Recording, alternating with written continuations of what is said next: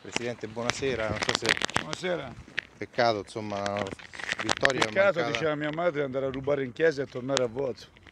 Sono due peccati. Uno che non ha rubato niente e l'altro che sono andato in chiesa. Com'è possibile questi ultimi dieci minuti una valanga di errori anche da chi insomma è abituato a farli? Guardi, credo che rientri nella... Quando dico che bisogna mettere a posto delle cose e preparare delle cose. È un difetto che abbiamo sin dall'inizio. Quando noi siamo in vantaggio, gestiamo male la nostra vittoria, ci distraiamo, qualcosa succede insomma, perché non è che sono solo gli altri a giocare, noi delle volte in certi momenti ci perdiamo. Ora, su questo bisogna lavorare. Vuole sapere cosa penso? Sfacciatamente? eh? Vuole veramente la verità, nonostante è la prima volta che sono uscito dal campo e mi veniva quasi da piangere? Eh, vuole sapere, e io non sono uno che piange facile, vuole sapere cosa penso realmente? Meno male hanno pareggiato all'ultimo minuto, perché almeno noi usciamo dal campo che abbiamo la voglia di piangere, meno male usciamo dal campo con la tristezza nel cuore e quindi lavoreremo in maniera più attenta, perché se quell'ultimo tiro non fosse diventato un gol, oggi saremmo tutti felici e forse trascureremmo questo secondo tempo che invece abbiamo, dove abbiamo sbagliato. Dobbiamo correggere, stiamo ancora preparando i playoff, è quello che abbiamo già detto.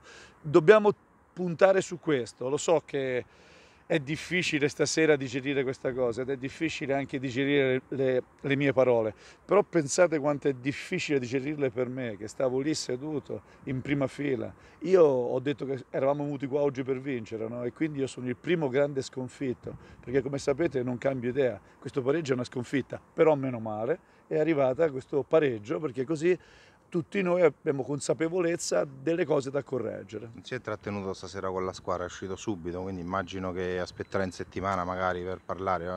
Ri- rispetto alla partita con la Virtus Francavilla dove c'era stato un lungo confronto invece, no?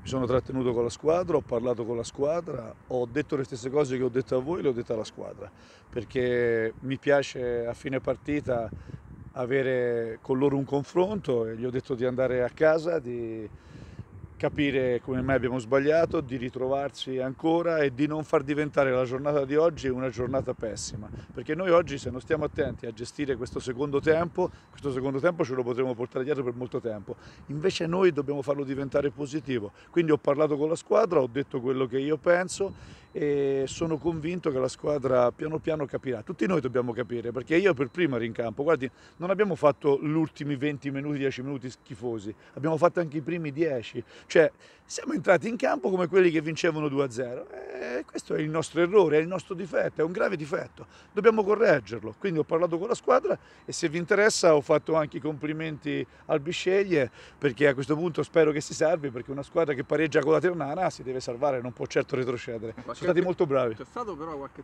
tensione nel finale con i tifosi? Se abbiamo visto bene. Questo magari è un problema che può Con me? No, con la squadra. con la squadra.